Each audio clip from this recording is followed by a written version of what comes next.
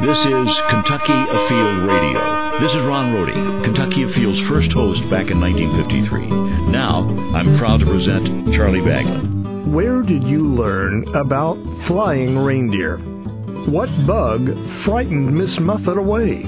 Fairy tales and bedtime stories are a cherished part of childhood, and animals are often part of the tale. From pigeons to piggies to a big bad wolf, we go inside outdoors to look at how the animal kingdom helps convey what we cannot. Once Upon a Time is next on Kentucky Afield Radio. You know our patch, but there are some things about the Kentucky Department of Fish and Wildlife you may have never dreamed. For a young mind, every day is an adventure. In schools and in summer camps, we reach 70,000 kids every year, keeping the world a hands on, minds on, feet wet place where nature and knowledge can take root. Kentucky Fish and Wildlife, your partner in the great outdoors. And you thought we were just fishing and hunting. Hunt more at fw.ky.gov. Kentucky's Nature and Wildlife Fund. You see it as a contribution option when you prepare your state tax return. But you also see it as songbirds and wildflowers. You can see it in clear flowing streams. Sometimes it's so secluded you may never see it at all. But if you only see it on your PC as you prepare your taxes, that's good too. Google it and see the difference this fund makes. Kentucky's Nature and Wildlife Fund, the natural tax shelter. This is Charlie Baglan on Kentucky Afield Radio. It's funny how make believe is a part of our daily life, daily productive life. For as rational, for as realistic and factual or educated as we see ourselves, imagination drives the train. It's not just for the artists in the family. It's not just limited to kids. From Star Wars to predicting the outcome of a ball game, buying a lottery ticket, where to go on your next vacation. How's traffic on the way to lunch? Fantasy keeps us sane. I bet there's someone in your family with an active, vivid imagination. Maybe that's you yourself. For me, I'm going to give that prize to my wife. She is a first grade teacher, and we will walk into a bookstore. And just like a bee, she shoots straight to the children's section. She picks up a book and instantly becomes the characters, using funny voices, the whole bit. She picks up stuffed animals, and they just come to life in her hands, the way she makes them move and look at you. It's magic. Today on Kentucky Afield Radio, we talk about how animals enter this picture and how make believe helps make us what we are. Kathy Mansfield is an expert in early childhood learning. She is my guest from the Kentucky Department of Education. And she's sitting here with a big grin on her face. I think you know what I'm saying about the bookstores. You and my husband need to get together. He has the same issues with me.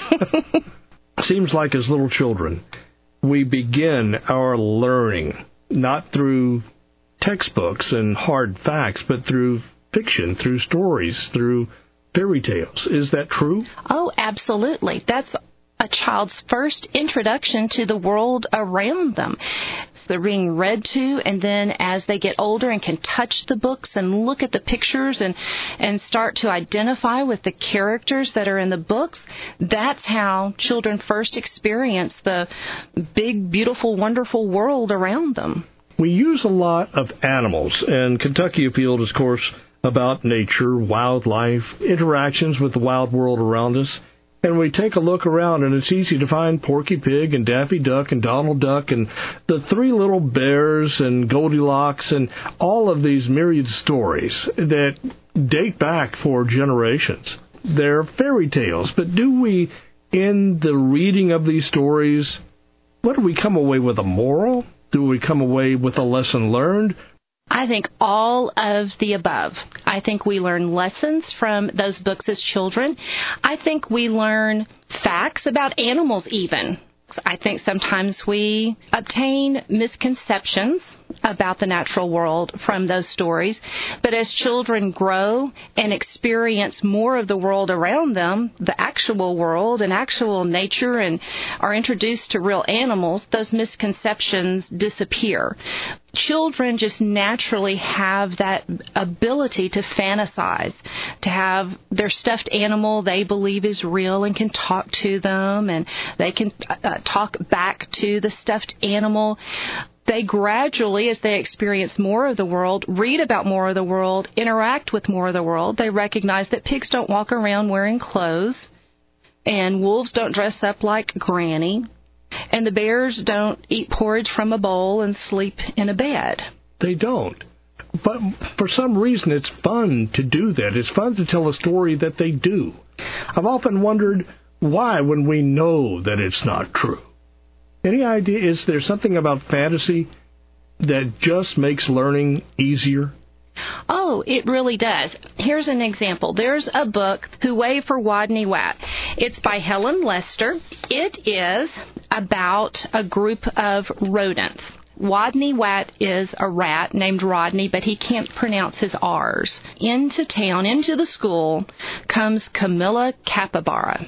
She is a terror. She's a bully that is a type of book that children can relate to because there are bullies in the world. But it's a different way to learn about how to deal with bullies in the world than to read about a real situation. Yeah. Um, when there are animals as the characters, I don't want to say it's a light-hearted way to introduce children to real world issues, but it's an inroad to be able to talk about these weighty issues that can insert some humor so that a child is engaged with the story but can learn some really good skills, some strategies to deal with the real world when they encounter it. Almost every child is going to encounter a situation with bullying. Well, that's clever. And it works. As I mentioned, group of rodents, and Camilla capybara comes in. I had never in my life heard of a capybara. Never seen one, didn't know what one was. But in this book, she's the largest rodent. Well, I got to go to the country of Panama a couple of years ago. Won it on Wheel of Fortune, and my husband and I got to go to Panama. Capybaras live in Panama. Nice. They are the largest rodent in the world. Now, that was a characteristic, a real life characteristic depicted in this book. She was the largest rodent. They want to be around other capybaras. And those characteristics were characteristics that Helen Lester, the author of the book, embedded into that story. So not only are children able to learn about strategies to deal with bullies, they can subtly pick up on some real information about an animal. I did, and I was an adult. You won it on Wheel of Fortune. Yes. So was this actually on television? Yes, it aired November 23rd, 2012. I Were won. you the winner that night, the overall I winner? was. I went to the bonus round and everything. I Did you won. win the bonus round? Oh, why did you have to ask that? Because? I want to know. I did. They seem tough. I watch it every night. I can't get them. Well, you only have 10 seconds, and when all the cameras are on you and the live audience, those 10 seconds fly by fast. I did not answer the bonus question correctly, but I made it to the bonus round. I won um, a little over $22,000 in that on that night, and part of that was an eight day, seven night trip for two, all expenses paid to the country of Panama. Nice. I've always had two questions. One, the participants, if they're shouting out, I want to buy an E or the letter R, they shout it out. Oh, you're told to do that. You're told to shout. Absolutely. You're on TV, so there's a very tight time schedule. You don't you can't waste words, waste time. T, you shout it out nice and clear and loud. They want to make sure that you say the letter clearly and loudly so there's no question about whether you said D or T. You need to pronounce it very clearly, very loudly. And what about why are the contestants always clapping? Well, you want to encourage your fellow contestants. It to, seems overkill to me. There's so much clapping. if, you're just standing, if there's a dull moment, you're clapping. Oh. you're told to do that. you're told to do that, and it's a natural response. I rolled bankrupt. I spun bankrupt at one point, and there I am, just clapping and grinning, just as happy as can be, because I was just excited to be there. One of the things they tell you, you have a you have coaches, contestant coaches, and um, you have practice sessions. You have spin the wheel practice because the wheel is very heavy, and there's a whole technique Yeah. involved. They teach you how to grab a hold of the spikes on the wheel and how to uh, lean your body in, how to do all of that. It's a game. Enjoy it. Enjoy the experience. And I took that to heart. I was just thrilled to be there. You would absolutely have to be. Look, we'll get that link. We'll put that out there on Facebook so folks can watch. We need to take a break. You're listening to Kentucky Afield Radio.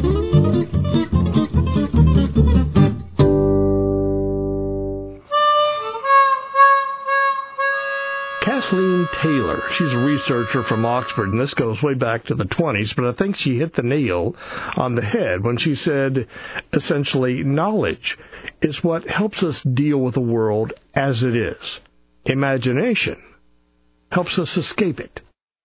This is Charlie Baglan on Kentucky Afield Radio, and we're back on the topic of putting imagination to work in storybooks for little boys and girls. Cartoons do it too, for that matter. Bugs Bunny, Yogi Bear, Little Mermaid.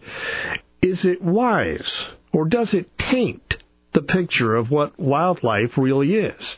Kathy Mansfield, for you, since you have taught both in the rural community and in the inner city, is the big bad wolf seen the same in both places? Um, I do think there's a difference. I taught for 12 years in a couple of inner city schools in Louisville. Here's a great example. I'll come back to the wolf question you had. There was a little boy in second grade. We were reading a book about a cow. It was a fiction book. I don't even remember the name of the book. But in some discussions, he mentioned that he had never seen a cow. This child had lived in an area of the city, didn't have those opportunities like I had had growing up to to go with my mom driving out through the country and to see those sorts of things or to, What impact does that have on their learning, you think? I think it opens up that opportunity for school librarians. I was a school librarian for 19 years, and in Kentucky, every school is required to have a certified school librarian. I think it opens up that opportunity for teachers and school librarians to bring as many of those experiences to those children so that they learn about cows and other animals in the world around them and recognize that there is a world beyond the world that they currently know and to introduce that in a way that inspires their curiosity so that they want to go and see other parts of nature for real life. And then it opens up that opportunity to help um, provide field trips and other opportunities to bring the world to them or take them to a smaller version of the world. For instance, the state fair, that same little boy, a couple of years later, we were able as a school to take a trip to the state fair. And he was able to see a cow and sheep and pigs and all those sorts of things. We were able to provide that as a school system to him and the others who needed those same experiences. Now, when I taught out in Waddy, Kentucky, Mm-hmm. uh, very different story. These, you know, the majority of the kids I taught grew up on farms. They had animals all around them. It, you know, it knew. Oh, they had seen more than I had ever seen, and but it was interesting. You asked about the whole wolf thing. With the inner city kids, the characteristics of the wolf they could re- understand those. The wolf was sneaky. The wolf was out to you know to get the other animals. It was a predator. And then the kids in the rural setting, they could recognize the actual characteristics of the wolf because they perhaps had seen foxes and coyotes and, and those sorts of things and could relate to the story in a different way. The last thing I'd ever want to do is stereotype by saying if you grew up in a city, you don't know anything about the outdoors, and that's not always the case at Oh, all. not not at all. But I'm curious, in your little field trip that you took to the state fair, where you could see rabbits or chickens, pigeons, how did they react?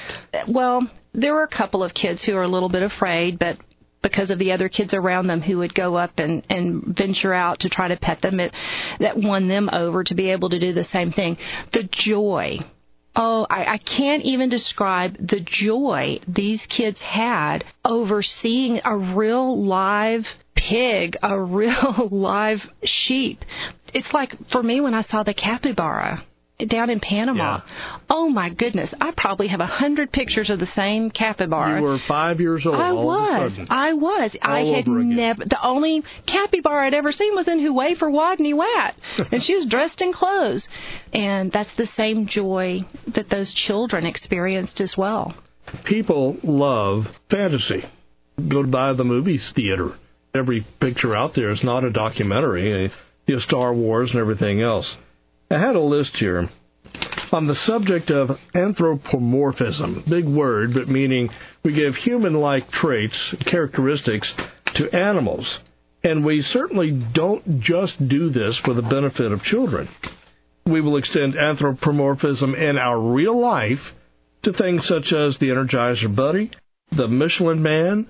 We give names to storms like Hurricane Katrina, school mascots, the man in the moon, werewolves, mermaids, the movie Cars. We are giving human like attributes to things that really shouldn't have them. Does that surprise you? That something we're doing with kids, we continue through our life because we like things that are human like us. It makes the world easier to understand. I think you just hit on it right there. It makes the world easier to understand. Even as adults, we still retain that curiosity and desire for the fantastical that we had as a child.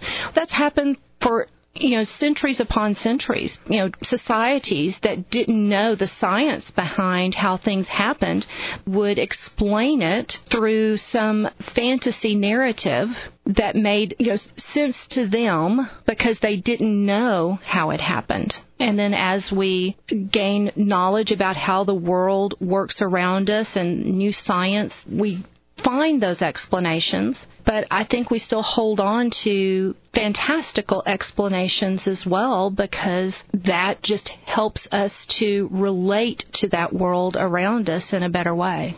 There's no real life Cookie Monster. It's only on Sesame Street. The Muppets, Kermit the Frog. Plenty of frogs around Kentucky. Is that the best way to learn about animals? To see them interact as if they were human beings? Or should we just keep it blah and say, here are the facts about animals and keep it black and white? Or is there any author out there that's sort of melding the two together? That's much more prevalent now than it used to be years ago, even when I started teaching in 1991. We have lots of what we would call hybrid books. It's hard for a librarian even to categorize them as nonfiction or fiction because it's a blend of the two. I have one with me today, Flight of the Honeybee by Raymond Huber. It's one of the nominees for the 2016 Kentucky Bluegrass Award. In fact, there's several animal books that are on that nomination list. Well, this book is about a little honeybee named Scout the things that happen to Scout are based on facts about real honeybees. Here's a quick example. A bee the size of a cherry pit crawls from the hive. Her stripes glow golden in the morning sun. Scout has spent her whole life in the crowded hive. Now it is time for her to fly out and explore the world. Time to search for flowers from which to collect pollen and nectar for food.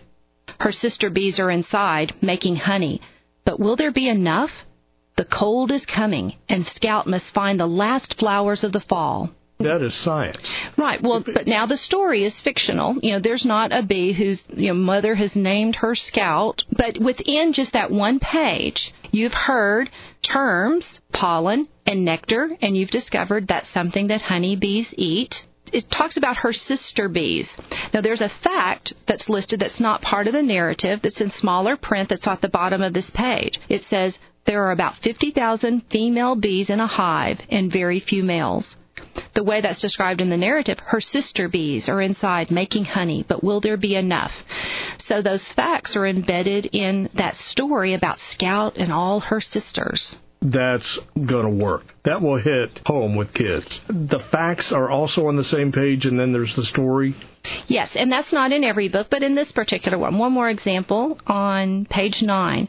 Scout remembers what she passes as she flies, so later she can return home. She knows the sun will guide her too. Now, a fact on that page says bees navigate using sunlight, landmarks, and smell. They also have a magnetic sense that is like a built in compass. Now, if you are a first grader, I'm going to read those two again to you, and you tell me which one of those passages is going to resonate more with you as a first grader. Okay, I'm okay? six. Let's You're go. okay. Scout remembers what she passes as she flies, so later she can return home. She knows the sun will guide her too. Now, did you learn anything from that? That she's trying to keep track of where she's been and mark the way to get home when she's done. Good. Now, here's a different way. Bees navigate using sunlight, landmarks, and smell. They I'm already asleep. Uh, there you go.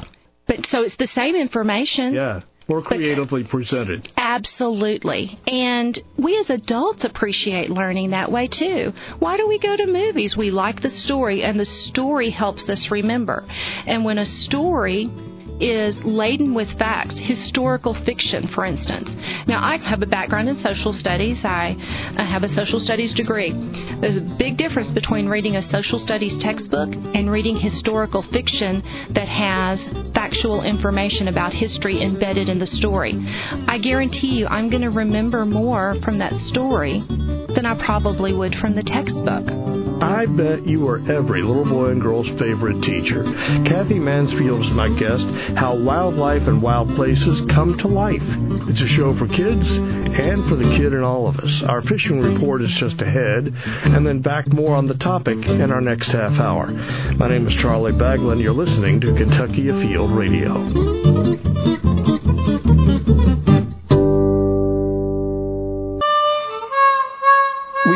Back on Kentucky Afield Radio. This is Charlie Baglan.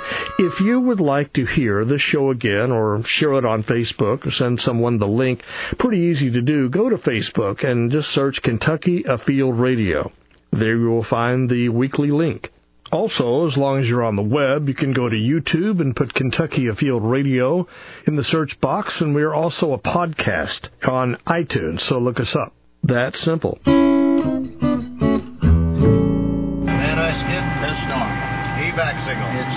This is rocket science. I'd like a Kentucky nature plate. This is not. In fact, a couple turns of a screwdriver is about as complicated as it gets. Sure, the goal behind the nature plate involves ecology and the science of saving scenic places, but all you have to remember is to ask for it when you renew your regular license plate. When you do, you renew Kentucky, too. The Kentucky Nature Plate. Buy it today for Kentucky's tomorrow. Kentucky's Nature and Wildlife Fund. You see it as a contribution option when you prepare your state tax return, but you also see it as songbirds and wildflowers. You can see it in clear flowing streams. Sometimes it's so secluded you may never see it at all. But if you only see it on your PC as you prepare your taxes, that's good too. Google it and see the difference this fund makes. Kentucky's Nature and Wildlife Fund, the natural tax shelter. Back in our second half hour on Kentucky Afield Radio, my name is Charlie Baglan, in the studio with Kathy Mansfield.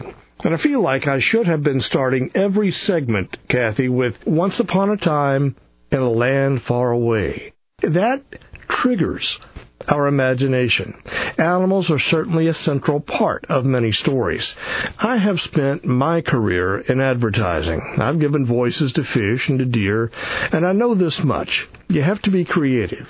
But if you want to sell something to a, a, boater, even if it's an idea, farmer, or to a mother, you have to speak in a language they understand, about a subject they are interested in.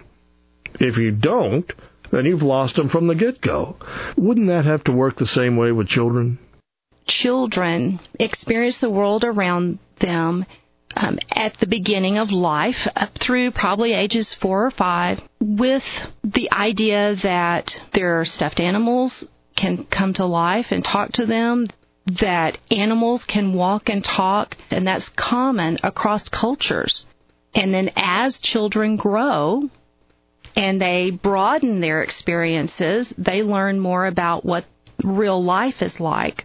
And we don't lose that as adults. We We, have those that. fond memories. I still have some stuffed animals from when I was a child that I keep because I have an attachment to them that is beyond explanation. Other adults would um, certainly probably have things from their childhood that they can remember and you know uh, relate to as well. I know that my old teddy bear is not real, but I have memories of when he seemed real to me. I have the same teddy bear in my garage. and probably three, four years ago, I was cleaning out the garage, throwing things away. I came across this old bear. Eyes were missing, fur was matted, and I threw it away. But I said, nah, I think I'll keep it. And it's still sitting on my shelf, and every time I see it, I'm three years old again. Absolutely. Absolutely. And there's nothing wrong with that. It is a common human experience. You have brought with you, Ms. Librarian, a bunch of books, a shelf full of books. Through the generations, what have been some of the most popular books? Well, let's go back to the 1800s. Rudyard Kipling. In 1894, The Jungle Book was published, and he also published Just So stories stories about how the camel got his hump, how the leopard got its spots, how the tiger got its stripes. And those were popular not only with children, but with adults as well. But it was a way for children to learn about unique characteristics about different animals. Even with those simple stories, children could learn about animals they might not be able to see readily around them. I remember my grandmother telling me stories in the early 60s about Goldilocks and Little Red Riding Hood. Now, I don't think those were freshly off the printing press at that time. I don't know how, how far back do they go, but that's my earliest recollection. It's almost impossible to trace some of those stories. Now, the Grimm brothers, Wilhelm and Jacob Grimm, wrote down some um, of the different fairy tales and folk tales gosh, back in the 1700s in Germany where they lived, and that's some of the first written accounts of folk tales and fairy tales that had been around for ages upon ages.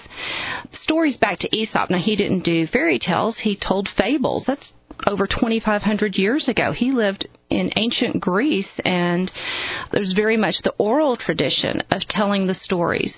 We're not able to trace the original authors of many of those fairy tales and folk tales. It was an oral tradition that was passed Yeah. down, and now we have multiple versions of those stories. We even have the true story of the Three Little Pigs, which is told from the viewpoint of the wolf. Uh, so we have uh, what we call fractured fairy tales that are a take on those.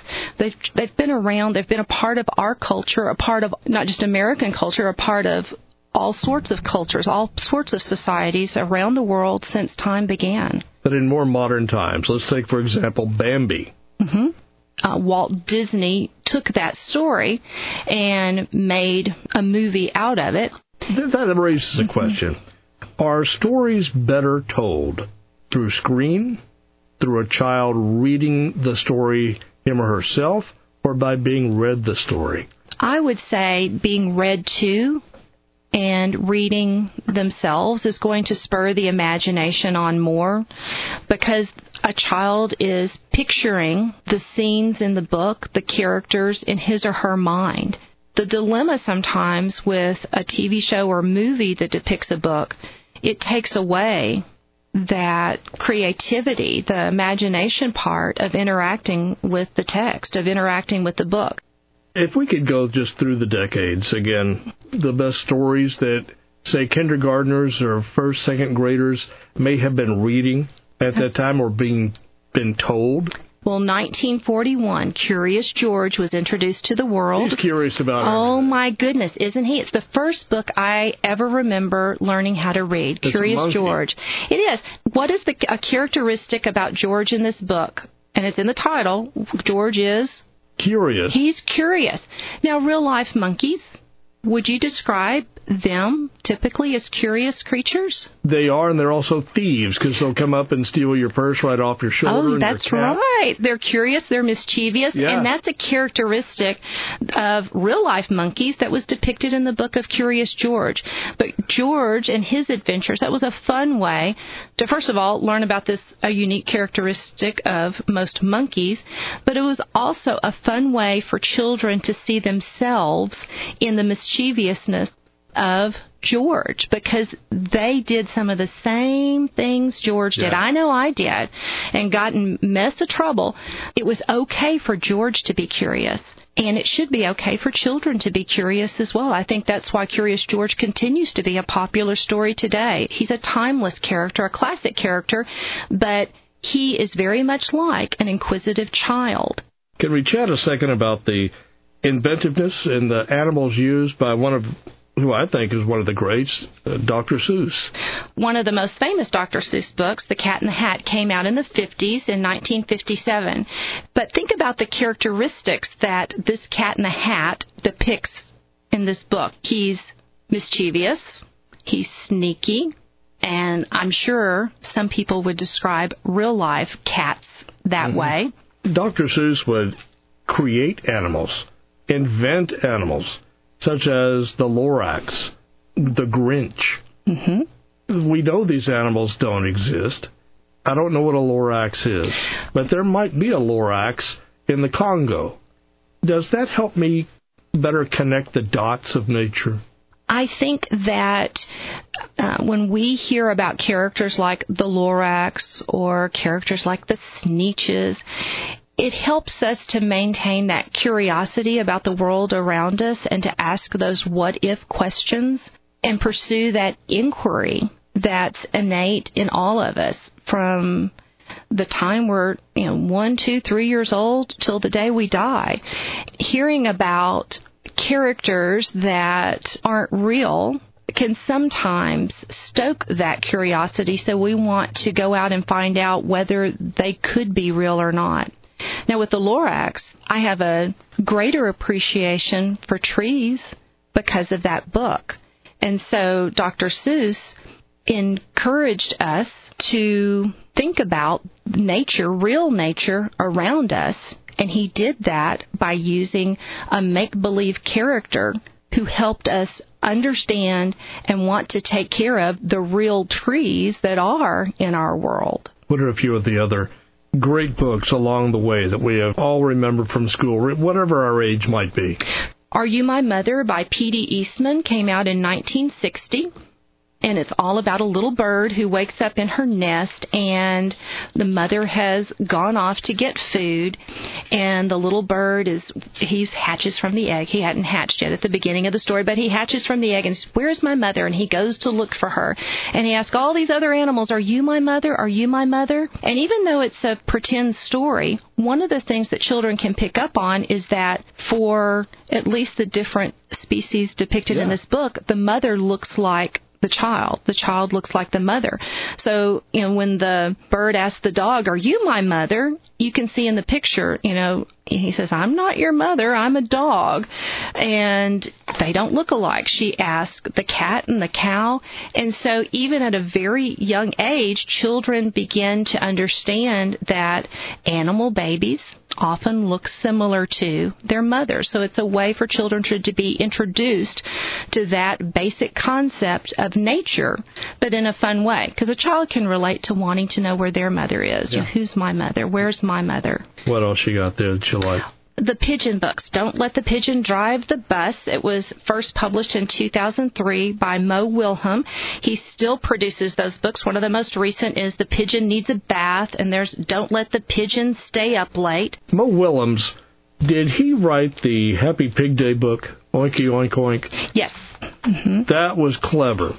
A pig was talking to an elephant, and the elephant said, Well, I can't celebrate Happy Pig Day. I'm not a pig. I'm an elephant. I'm not pink. I'm gray. I'm huge, and you're small. The pig said, But Happy Pig Day is for anybody who appreciates pigs. And he had all his friends standing there who were other pigs, but they lifted up their masks, and there were foxes under there, and rabbits, and all types of animals that appreciated pigs. And it just shows how we don't stop our appreciation at just one thing. Nature is for everybody. That's right. And what a better way to share that message with small children than through make believe characters that can convey that message in a way that couldn't be conveyed perhaps any other way. Here's a what if. What if we just did away with pretend? Literal was the new law. You had to teach purely facts in a bland and boring kind of way. Instead of bedtime stories, you had to read from a science book or history book. We would have a riot on our hands. We'll spend our final few minutes seeing what clever authors are doing to blend the two. This is Charlie Baglan. You're listening to Kentucky Afield Radio.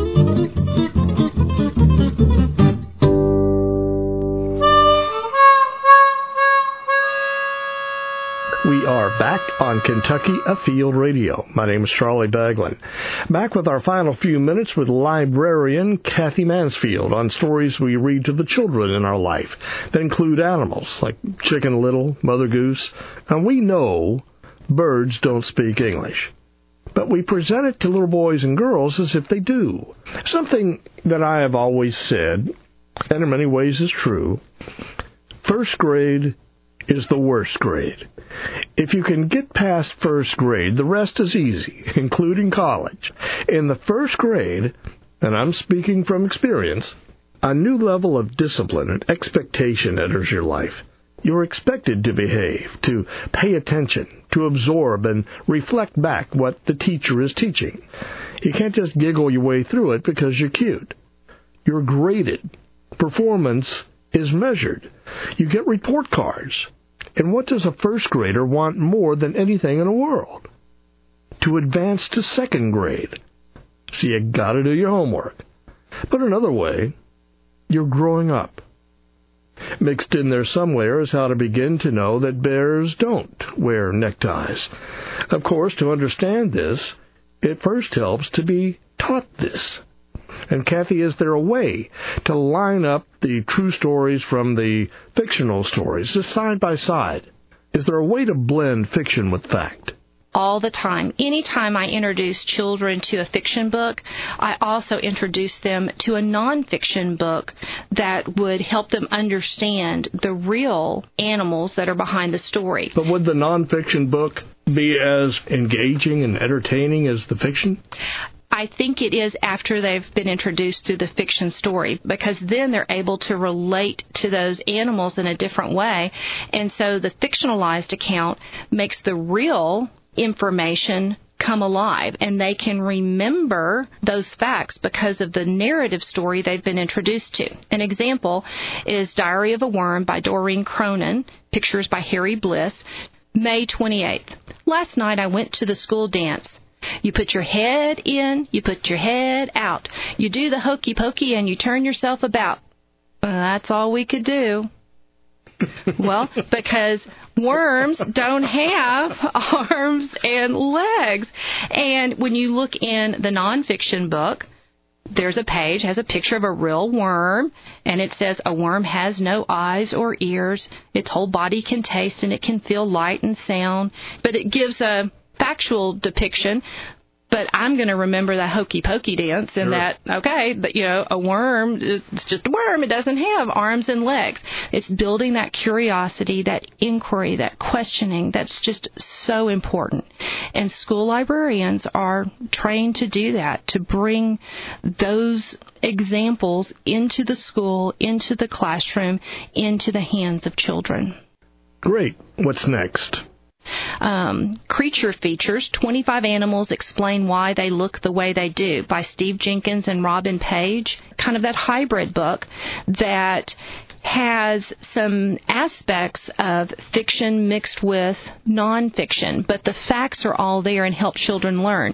A question a child might ask Dear hamster, why are your cheeks so fat? And so the hamster responds, That's not fat. It's my dinner. I store seeds and nuts in my cheeks. I'll take them back to my burrow and eat them later. We have so many books at our disposal now that present the world of animals to children in an engaging way. One more book, one of my favorites by Steve Jenkins called Actual Size. And in it are illustrations that help children see the actual size of different animal parts. There's a page that has the hand of a gorilla, but a child or an adult can put his or her hand on top of the gorilla's hand and see how incredibly large that gorilla's hand is compared to the child's own. And there are other examples throughout the book as well, so children can see how big an elephant's foot actually is. It's going to be hard to stand next to an elephant and put my foot next to an elephant's foot, but in a two page spread in this very large book, I can see the size of my foot compared to the size of an elephant. That's genius. And it's, it's so simple. It is. It seems simple, but it's very intentional. And we have authors and illustrators today who are working hard to bring the world of nature, the world of animals to children.